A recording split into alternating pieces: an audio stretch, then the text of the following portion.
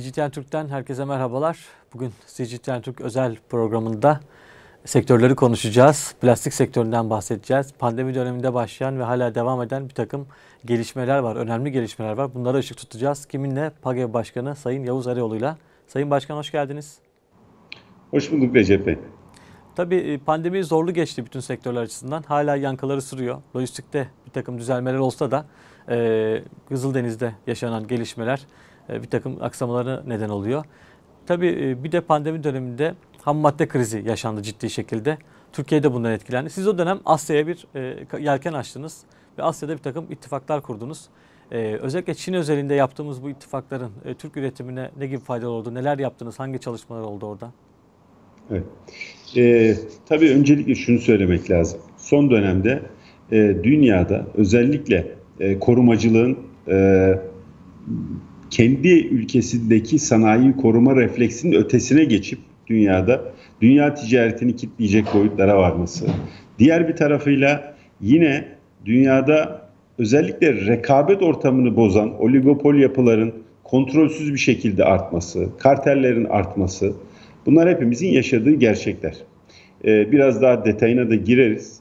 Ama pandemiyle bu söylediğim tablo birleşince inanılmaz bir kurt puslu havayı sever durum ortaya çıktı. Hepimizin bildiği gibi.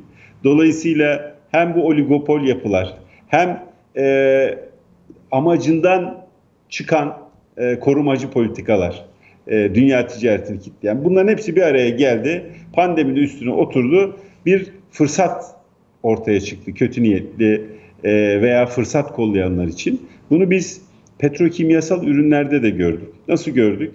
Dünyada özellikle petrokimya ham maddeleri üreten firmalar petrol e, üretim zincirinin aslında bir sonraki halkası. Petrol de dünyada resmi kendi kendine açık ve bir şekilde kartelini ortaya koyan en büyük emtia. OPEC gibi bir kartel var. Hepimizin bildiği e, gayet anlı bir kartel dünyadaki petrol fiyatını kontrol etmek üzere kurulmuş. Viyana'da merkezi var toplanıyor, kararlar arıyor. Ya şu anda fiyat düştü, biraz üretimi kısalım, e, biraz arttıralım, dünya ekonomisi şöyle oldu, böyle oldu deyip bütün hepimizin hayatını küreselde etkileyecek kararlara imza atıyorlar. Petrokimya sektörü de baktığınızda petrokimya firmalarının çoğu bu petrol firmalarının ya kendi yan kuruluşlarıdır ya da bağlantılı kuruluşlarıdır. Bir şekilde bağlantılı kuruluşlar. Şimdi böyle olunca da demin bahsettiğim o ortam bunu neyi yarattı? Bütün önce petrolden başladı biliyorsunuz o dönemde. Ardından hemen petrokimyasal ürünlerde üretimi kısmaya başladılar. Yani üretimi arzı kısarak piyasaya fiyatları yukarı çekmek yönünde ciddi bir çaba gösterdiler. Hemen o 2020'nin özellikle ortasından itibaren ham madde fiyatları iki katına çıktı. Yani yüzde yüzde yüzün üzerine çıktı. Yüzde yüz elliyi buldu sene sonunda ve e, ciddi anlamda bütün ekonomileri zorlayan bir hal aldı. Dünya ülkeleri e, pandeminin yaşattığı sorunları hafifletmek adına, e, ekonomiyi canlandırmak adına parasal gevşeme politikaları yapıp kredilerle büyük kuruluşları desteklemek yoluna giderken bütün bu kaynaklar bu bahsettiğim kartellerin ana ham maddelerin fiyatını arttırarak kendi taraflarına menfaat yaratmasına gitti. Vatandaşa yeteri kadar dünyadaki tüketicilere, insanlara yeteri kadar yansımadı. Şimdi biz ne yaptık o durumda? Şöyle bir durumumuz var Recep Bey. Bizim Türkiye olarak plastik sektöründe, Türkiye plastik sektörü mamul üretiminde gerçekten ülkemizin e, gurur duyabileceği büyüklükte bir sektör. Baktığınızda dünyada 6. en büyük üreticiyiz. Çin 1. en büyük üretici.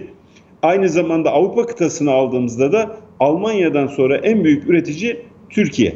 Senede yaklaşık 11 milyon tona yakın her çeşit plastik mamulü üretiyoruz. Her çeşit dedim beyaz eşyadan tıbbi malzemeye, ambalajdan efendim elektronik eşyaya, otomotive bütün bunların kullandığı plastikleri Türkiye ürün çeşitlemesi de yüksek seviyede olacak şekilde üretiyor, ihraç ediyor.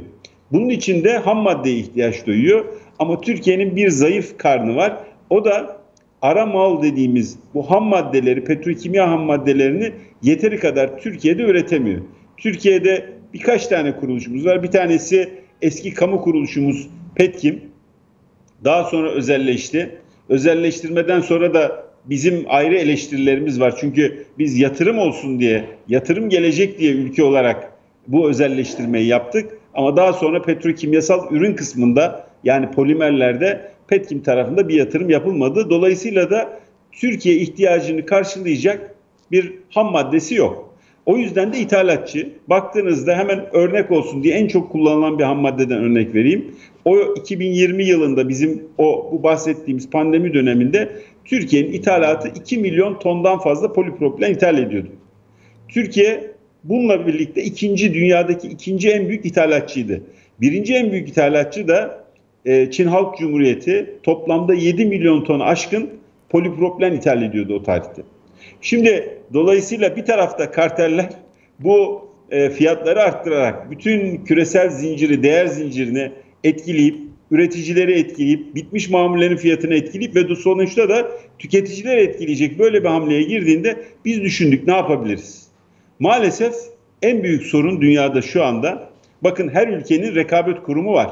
Türkiye'nin rekabet kurumu var. Amerika'nın rekabet kurumu var. Çin'in muhakkak vardır diye düşünüyorum. Her ülkenin aynı şekilde. Ama küreselde bir rekabet kurumu yok. Dünya Ticaret Örgütü'nün de böyle bir fonksiyonu yok. Dolayısıyla bu küresel şirketler dünyanın her tarafında böyle bir ortak çalışmaya girdiği zaman hukuki bir zemin yok. Bunları engelleyecek bir e, kurum yok. Biz ne yapabiliriz diye düşündüğümüzde şuna baktık. Ya bizim toplam dünya ithalatında demin polipropilen örneğini verdim. Çin o bahsettiğim 7 milyon tonla yüzde aşağı yukarı 47'sini ithal ediyor. Tek başına dünyadaki ithalatın 47, 43, 47 arasında kısmını tek başına Çin yapıyor. E, Türkiye'de yüzde 13 kısmını yapıyor. Ya biz ikimiz eğer ortak bir hareket yapsak dolayısıyla en azından alıcı olarak gücümüzü kullandığımız zaman bu fiyat dengesine katkı verebilir miyiz? Bunu olumlu yönde bu artışın önüne geçebilir miyiz diye düşündük. Çin'de de bu konuda sivil toplum örgütleri var. Bizim PAGEV olarak onlarla da çok yakın ilişkimiz var. Yıllardır hem fuar bazında hem Türkiye'de bizim düzenlediğimiz fuara onların katılması yaklaşımı hem de sivil toplum örgütlerinin e, bu konudaki meslektaş işbirlikteliği konusunda onlarla da konuştuk. E, neticede bir dönem dedik ki biz alımları biraz yavaşlatalım. Doğruyu söylemek gerekirse Çin zaten bunu daha önceki dönemlerde tek başına yapıyordu. Yani daha geçmiş yıllarda da Çin'in ortak hareket edip üreticilerin, kendi üreticilerinin yani ham maddeyi kullanan firmaların böyle anormal durumlarda biraz bekleyip daha sonra alım yaptıkları bir nevi piyasayı dengelediklerini görmüştük. Tüketimden, e biz de bunu ortak evet. tüketimden gelen gücü de kullanmak diye bir durum var tabii ki. Bu ortaya çıkmış oluyor.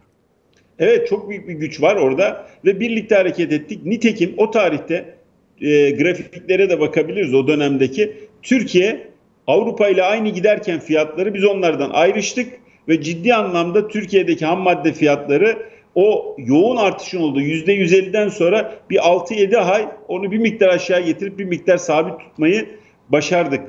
E, bunda Çinli dostlarımızın çok büyük katkısı var. Aynı zamanda bunun başarılı olduğunu şöyle de gördük. E, biz aynı zamanda Türkiye olarak Avrupa'yla da çok yakınız. Avrupa'daki petrokimya şirketleriyle de onların sivil toplum örgütüyle de bizim PAGEV olarak ilişkilerimiz var. Hemen onlardan bize dostlarımızdan telefonlar, efendim mailler geldi. Ya niye böyle yapıyorsunuz? Efendim bu e, şeyi bu kadar e, üzerine gitmenize gerek var mı gibi e, gördük ki alımdan gelen gücü kullanınca burada ciddi bir fayda yaratılabiliyor.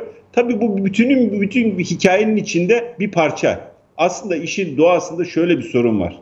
Ee, çalışmayanlar, üretmeyenler, geçmişte çalışıp ürettiği servetler üzerine devam edenler, ülkeleri kastediyorum. Bunlar şu anda yeni çalışıp üretip pazardan pay almaya çalışan ülkeleri engellemek istiyorlar. Çin bunların en başında geliyor. Türkiye aynı şekilde büyüyen, üreten bir ülke olduğu için, genç nüfusuyla dinamik bir ülke olduğu için Türkiye'de aynı şekilde engellemelerin, pazara giriş engellerinin ortaya çıkarılmasının, ticaret engellerinin muhatabı oluyor. Sayın Başkan, Dolayısıyla e, burada Çin'le, ortak hareket önemli diye düşünüyorum. E, Çin'le Türkiye'nin kaderi ortak gibi bir e, sonuç çıkıyor sizin söyleminizden. Burada bunu görmüş oluyoruz özellikle dünya pazarları açısından.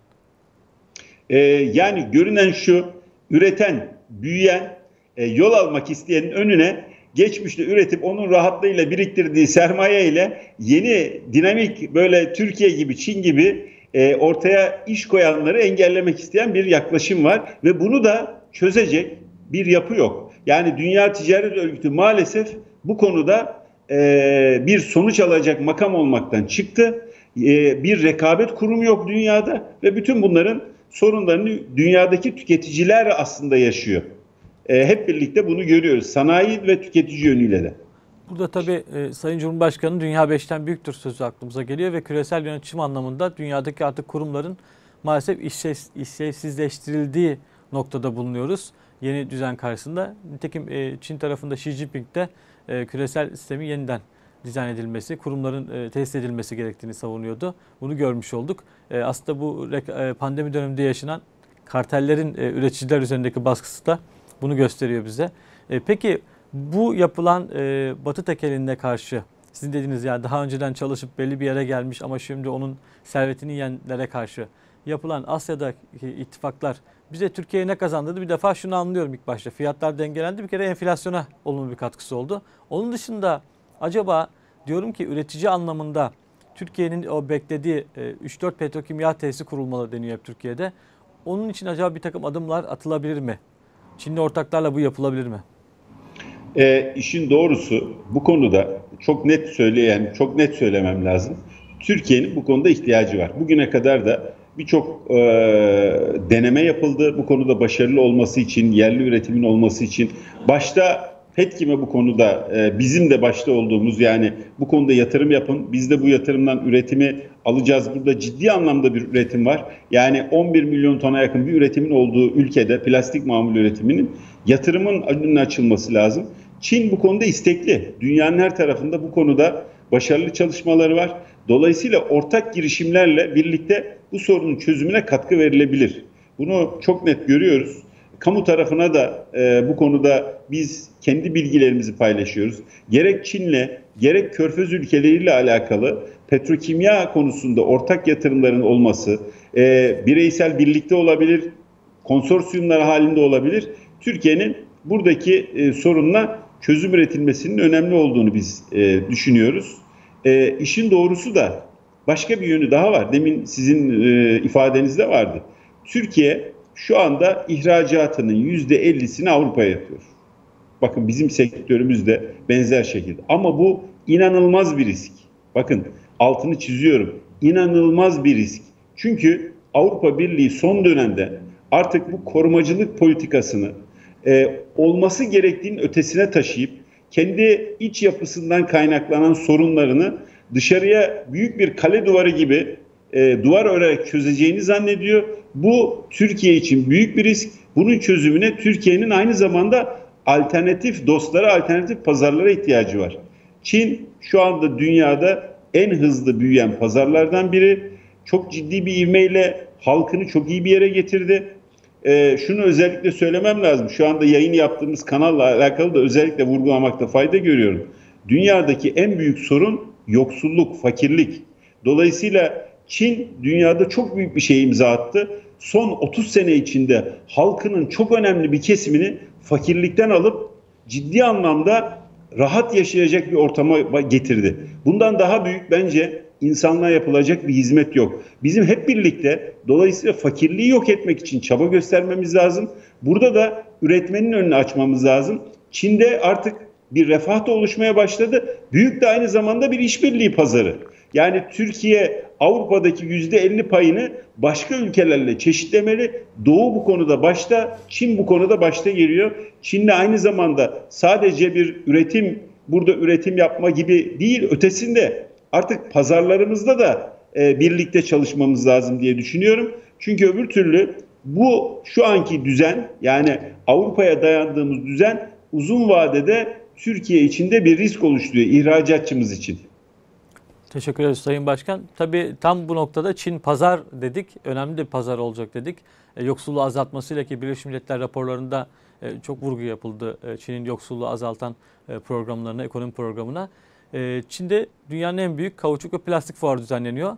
Siz de buraya katılacaksınız firmalarla. Nasıl ilgi buraya? Yani hangi tarihlerde gidilecek? Ne kadar firma gidiyor? Burada ne takım hangi işbirliklerin yapılmasını bekliyorsunuz?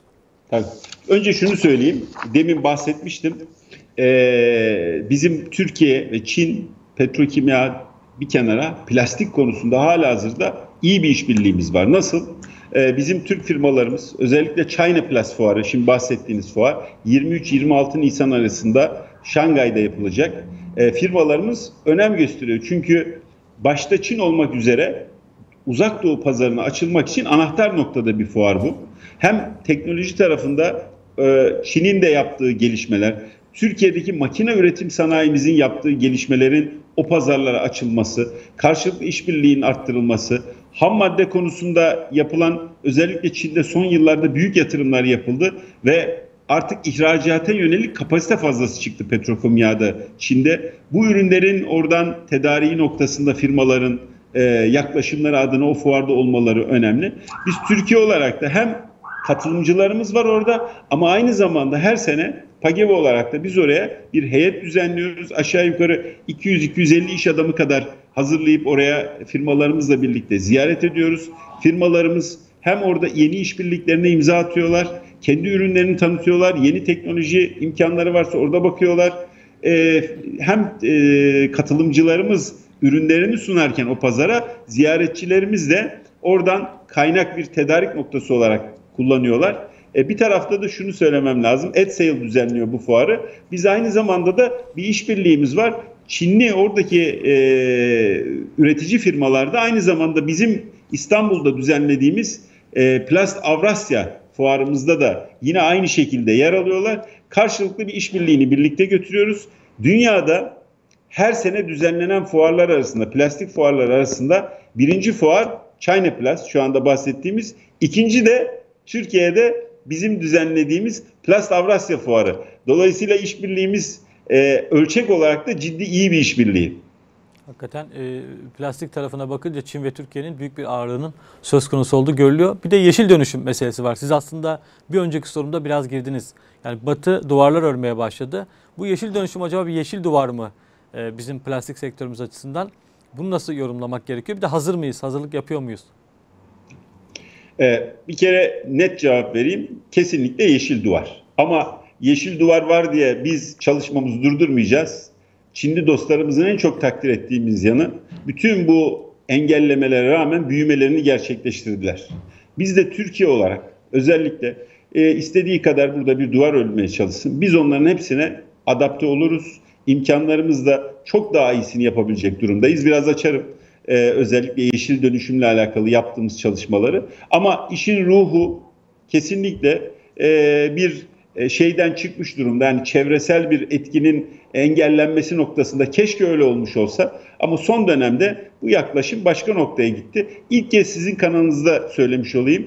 E, bakın e, şöyle bir şart getiriyor yeşil dönüşüm. Diyor ki sizin diyor örneğin plastik bir üründe şişeyi alalım pet şişeyi. 2025 yılında bu şişenin %25'i daha önce e, üretilmiş, satılmış, atık olmuş, toplanıp geri dönüştürülmüş plastik ham maddesinden olmalı. Yani bir şişe bir Avrupa pazarına girecekse bunun %25'i geri dönüşmüş ham maddeden yapılmalı minimum. 2030 yılında ben bunu %30 istiyorum diyor. Aynı şekilde bunu tüm ambalajlar için yani aklınıza gelebilecek tüm ambalajlar için istiyor. Bu ne demek? Siz 2025'te örneğin %25'i sağlamayan bir ambalaj gönderdiniz. O zaman o ürün Avrupa sınırından geçemeyecek. Bu sadece plastik ürün için kastetmiyorum. Sadece geri dönüşmüş ham madde için kastetmiyorum. Diyelim ki siz bir ambalajlı gazlı içecek yaptınız. Gönderdiniz. Eğer ambalajı o şartı sağlamıyorsa siz gıdayı da satamayacaksınız. Siz televizyonun ambalajında plastik kullanıyorsa ve o şartı sağlamıyorsa veya plastik e, televizyonun içindeki o çerçevesi Yine satamayacaksınız. Şimdi buraya kadar akla şu geliyor. Ya iyi niyetli bir şey. Amaç geri dönüşmüş plastikleri toplayalım. Bunları daha çok kullanılması için de ürün içinde kullanalım. Biz buna hazırdık. Hazırlanıyoruz. Bütün atık yönetimimizde Türkiye depozito sistemini getiriyor. Altyapısını geliştiriyor. Bakın ne oldu geçen hafta biliyor musunuz? Geçen hafta bu yönetmelik, ambalaj ve ambalaj atıkları yönetmeliğidir çıkacak. Son dakikada bir değişiklik yaptı Avrupa Birliği. Yani niyetini ortaya koyar. Dedi ki bu bahsettiğim atık hani o yüzde 25 atık olacak ya bu atık parantez içinde Avrupa kaynaklı atık olmalı. Bu ne demek biliyor musunuz? Siz Türkiye'deki bütün atıkları topladınız. Yaptınız yüzde 25'te kullandınız gönderdiniz. Diyecek ki bunun sertifikasına göre bu Türkiye'deki atıklardan toplanmış yapılmış. Kabul etmiyorum. Avrupa'daki atık olsun. Bunun tek adı ticari engeldir. Yani istiyor ki amaç burada sen daha çok çevreyi korumak için atık toplama değil. Avrupa'nın ekonomisine nasıl katkı yaparım? Tamam bunu anlıyorum korumacı bir yaklaşım. Ama bu Dünya Ticaret Örgütü'nün yaklaşımına da aykırıdır. Çünkü baktığınızda ürün bazlı değil, menşe bazlı bir Avrupa menşeli ham madde ve gözü, gözünü karartmış durumda bu tür tedbirler alıyorlar. Biz işin doğrusu bu duvarı aşacak bütün ne yaparsalar yapsınlar onlara adapte olacak imkanımız var. Çünkü dinamik bir ülke, Türkiye üretimi var, teknoloji üretimi var. Hatta şunu söyleyeyim, bu da bir vesile olsun. Çok önemli bir çalışmaya da imza atıyoruz. Türkiye geri dönüşüm konusunda, plastik geri dönüşümde dünyada söz sahibi olma yolunda ilerliyor. Sadece çok kısa bir sürede 4-5 sene içinde 1,5 milyon ton granül, geri dönüşüm granül üretecek kapasiteye ulaştı Türkiye. E, bu yüzden de e, istiyoruz ki bunu bir tekerleştirme, Avrupa'nın bir tekerleştirme çabası var. Hem atığı hem teknolojisini. Biz de buna karşı Türkiye'de e, yeni bir fuar düzenledik. Sadece plastik geri dönüşüm üzerine yoğunlaşmış. Replast Avrasya Fuarı 2-4 Mayıs tarihi arasında yer alacak. Çinli dostlarımız da orada stand aldılar bu arada konunun bir bütünlüğünü de kurmak adına. Hep birlikte burada özellikle istiyoruz ki Türkiye küreselde geri dönüşümün bir merkezi olsun. Yeşil ekonomi, yeşil teknoloji dediğimiz zaman bunların makine ekipmanını zaten üretiyoruz. Pazarı da burası olsun. Ulaşıldığı, satıldığı, teknolojinin yapıldığı. E, bu anlamda da e, bu konudaki her türlü engellemeye rağmen sabırla, akılla mücadeleye devam ediyoruz. Sayın Başkan önemli bilgiler verdiniz e, bu e, kesitte özellikle. Tabii bir de şeyi görüyoruz maalesef basında sürekli batı basında işte Türkiye Avrupa'nın çöplüğü olduğu gibi halbuki tam tersi hem kendileri diyorlar ki bizim atımızı kullanıp e, ondan sonra artımızı kullanıp geri dönüşüm malzemeleri üretin hem de Türkiye çöplük oldu diye bir takım manşetlerle karşımıza çıkıyorlar. Sizleri de zor durumda bırakalım görüyoruz ama bir de sıfır atık projemiz var aslında bakınca. Cumhurbaşkanı'nın eşi hanımefendi Emine Erdoğan'ın başlattı. Orada vaziyet nedir? Nasıl gidiyor o proje? Önce şunu söyleyeyim. Ee, Batı'nın özellikle Türkiye'de servis ettiği bu haberlerin e, çok basit bir şeyle çürüteceğim size. Hep birlikte. O da ne biliyor musunuz? Bakın şunu hemen konuşmamız lazım. Avrupa Birliği ne diyor? Diyor ki Türkiye'nin geri dönüşüm oranları düşük. Daha başka ne diyor? Diyor ki Türkiye'de belli yerlerde adını da koyalım. İşte Adana'da bu atıklar yakılıyor, dökülüyor, hiç geri dönüştürülmüyor diyor. Bunu söylüyor. Peki şunu sormak istiyorum. Avrupa Birliği dediğimizde aklımıza ne geliyor? Avrupa Birliği dediğimizde genelde insanların aklına Almanya, Fransa, İtalya, Avusturya gibi ülkeler geliyor. Avrupa Birliği 27 ülkedir. Bulgaristan da Avrupa Birliği'dir. Romanya da Avrupa Birliği'dir. Estonya da Avrupa Birliği'dir. Hırvatistan da Avrupa Birliği'dir. Sayabilirim size devam ederim. Baktığınızda biz bu ülkelerin tek tek geri dönüşüm oranlarını çıkardık. Tek tek bunlardaki yakılma, gömülme, ortaya atılma oranlarını çıkardık. Ne çıktı biliyor musunuz? Eğer Türkiye bugün Avrupa Birliği üyesi olsaydı biz 27 ülke arasında 13.'üydük. Yani Avrupa Birliği önce 14 tane diğer kalan üyesinin şu anda samimi ise bu söyledikleri, bu servis ettikleri haberlerle Onları bir toparlasınlar. Türkiye'ye bu konu. Türkiye onlardan hızlı bu konuların üzerine gidiyor. Biz iki sene önce bütün Türkiye'deki lisansları iptal ettik. Bakanlığımıza biz de böyle tavsiye ettik. Sıfırdan yeni mevzuat konuldu. Bütün atıklar uyduyla takip edilir hale geldi. Sınırdan tesise kadar. Geri dönüşüm e, firmalarının belli makine ekipmanları yoksa lisans verilemez hale geldi. Bütün bunları yaptık. Son ne kadar? iki sene içinde Türkiye bu gelişmeyi yaptı. Ama açın bugün Şimdi e, izleyicilerimiz Google'a çıktığında şey aslında Bulgaristan'da atık gömülmesi, atık yakılması diye inanamayacaklar atık geri dönüşüm oranlarını. Ve bunların haberlerini de kaynağına baksınlar Alman basınında görecekler bir kısmını. Yani kendi basınları içinde bile artık o kadar hat safhaya çıkmış. Şimdi dolayısıyla bu haberlerin bir kısmı da şunu amaçlıyor. Ee, kendi mevzuatlarına göre bir e, yapıları var. O mevzuat diyor ki eğer atığın gönderildiği ülkede bu atık geri dönüştürülemiyorsa bunun gönderilmesi yasaklanır. Önce bu haberi yaptırıyor. Sonra da diyor ki atık ithalatını Türkiye kısıtlama getirdik. Niye? Sizde böyle bir sorun var. O zaman onu sormak lazım. Biz sizin kriterinize göre 27 ülke arasında geri dönüşüm oranında, geri dönüşüm atıklarının değerlendirilmesi oranında 13.yüz. Yani 27 ülkede ortalamanın daha iyisiyiz. Siz diğer ülkelerle alakalı ne yapıyorsunuz? Şimdi bunu özellikle bir tarafa koymak istiyorum. Hakkaniyetli, adil ve samimi bir niyetli olmak adına. Şimdi sıfır atık konusu Türkiye için çok başarılı bir e, yaklaşım oldu. Çok başarılı bir hareket oldu. Dolayısıyla bu hareketin de hanımefendi tarafından, Cumhurbaşkanımızın eşi tarafından en üst düzeyde desteklenmesi, sahiplenilmesi ülkemiz adına da hem Birleşmiş Milletler'de biliyorsunuz sıfır atığın geldiği noktayı örnek olması adına hem de ülkemizdeki tüm kurumların bu işi sahiplenmesinde oradaki inisiyatif Cumhurbaşkanlığının bu konudaki yaklaşımı öncü rol izledi. Bunu her yerde görüyoruz.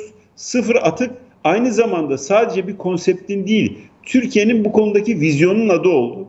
Ve biz sahada plastik geri dönüşüm sektörü olarak bu e, vizyonun içindeki rolümüzü en iyi şekilde oynamak, Türkiye'yi plastik geri dönüşümde en iyi yere getirmek için çalışıyoruz. E, nitekim sıfır atık ilk program başlarken sordunuz mümkün mü? Mümkün. Nasıl mümkün? Yanlış anlamamakla mümkün. O da atık sıfırlanmayacak. Atık geri dönüşüp tekrar ham madde olacak. Yani atığın ham madde olduğunu düşündüğünüz ve buna göre sistemi kurguladığınız anda sıfır atık mümkün. Türkiye bu yönde samimi olarak çabalar gösteriyor, ilerliyor ve maalesef şu son dönemde bütün bu süreçlerin de içindeyiz. Ben aynı zamanda Avrupa Birliği Plastik Üreticileri Derneği'nin yönetim kurulu üyesiyim. Yani oradaki komisyondaki çalışmaların içinde görüyorum. Şunu görüyoruz, samimiyet eksikliği var. Yani gerçekten bunlar çevre için yapıldığı zaman hepimizin hem bir vatandaş olarak, bir insan olarak istediğimiz şeyler ama bunları ticaret engeli çıkarmak, ülkesini öne çıkarmak, efendim bunlar yeni değerlerdir bu değerleri söyleyerek kendimizi daha popüler, daha güvenli hale getirir diye, diye politik amaçlı ortaya koymak değerleri erozyona uğratıyor. Samimi çabaya ihtiyacımız var. Bu konuda da en büyük çabayı aslında göstermesi gereken endüstri. Biz de birlikte çalışmalılar. Nitekim biliyorsunuz PAGEV'in okulları var. Türkiye'nin bütün geri dönüşüm teknisyenlerini biz meslek lisemizde yetiştiriyoruz. Amacımız sadece bugünü değil, gelecekte de geri dönüşümde Türkiye'nin dünyada samimi üreten bir e, ülke lider olmasını istiyoruz. Sayın Başkan çok teşekkür ediyoruz. Önemli bilgiler paylaştınız bizlerle. İyi günler dileriz. Çok teşekkür ediyoruz yayın için Recep Bey. Sağ olun. Sayın PAGEO Başkanı Yavuz Eroğlu'nu ağırladık. Ee, Pandemi döneminde başlayan e, tekerlere karşı birlikte mücadele, bundan sonra e, sıfır atık projesi ve Avrupa'nın yeşil duvarlar örmesini konuştuk. Bunlar kapsamında Türkiye'nin e, Çinli üreticilerle, e, Çinli müttefiklerle beraber yaptığı projelerden bahsettik ve PAGEV'in de yurt dışındaki e, bununla ilişkin geri dönüşüm noktasındaki çalışmalarından söz ettik. Hepinize iyi günler dileriz.